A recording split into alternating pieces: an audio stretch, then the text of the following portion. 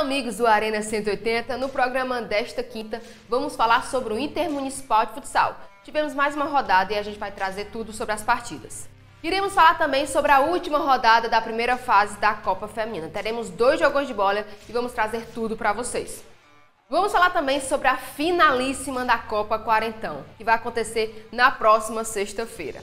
Tudo isso no nosso Arena 180 desta quinta, a partir das 18 horas, pelo canal 180 da Brisanet e também pelas redes sociais da Sertão TV. Espero você!